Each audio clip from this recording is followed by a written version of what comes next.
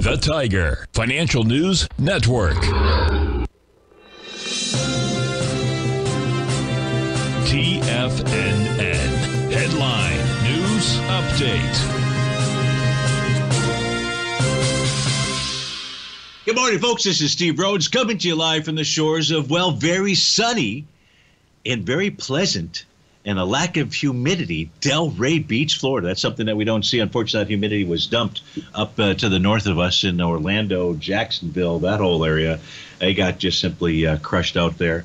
Uh, so, uh, hey, this is your 11 a.m. update. Right now, we've got U.S. equity futures traded to the upside. You've got Dow futures up 30 points, uh, Nasdaq futures up 17, S&P 7, the Russell's up uh, three points. Gold's trading out at 16.72, that's up four bucks. Silver's trading out at 18.91, that's up 20 cents.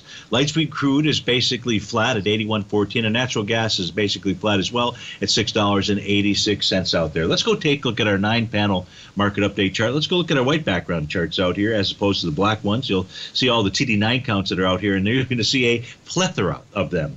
ES Mini's got both a TD9 count and by the D point pattern. Its issue is resistance, which is its oscillator and change line. It's also got a profile support level that is held. The resistance area is at 37.32. Watch resistance during the day. Watch support as well. Support for the daily time frame is out at 36.22. The Nasdaq NQ out here, the same kind of pattern. It's uh, yesterday tested and rejected that red oscillator and change line. That's an ominous thing out there. It's really a bearish condition.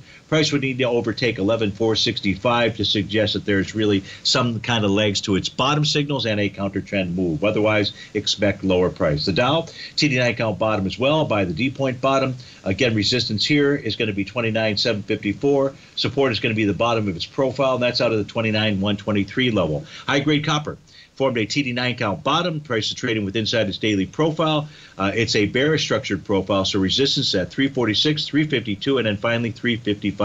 You close above 355, then it's got its bullish legs back. Gold has got a nice Rhodes Momentum Indicator bottom, a nice TD9 count. If price can uh, take out the bottom, stay above the bottom of its daily profile, 1670.40, that should get us up to the 1695 area, and above 1695, 1742. It's possible that the low on Wednesday was the C point of an A to B equals CD to the upside. That should take silver to the 2102 level. We don't have a confirmation of that, but price is trading above its bearish structure daily profile, so that is a likely outcome. Light Sweet Crude's got a TD9 count bottom, as does natural gas, as does the 30 year treasuries. Folks, stay tuned. Tommy O'Brien is up next with the morning market kickoff. Have a fantastic Friday. I'll look forward to seeing you 11 o'clock sharp on Magical Magnificent Monday. Take care.